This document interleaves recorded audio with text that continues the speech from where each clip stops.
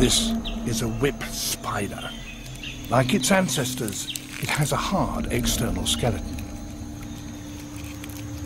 Two of its limbs have been turned into highly mobile, sensitive feelers. It uses them to probe around delicately both in front and behind. Any prey within a foot of it will be immediately detected.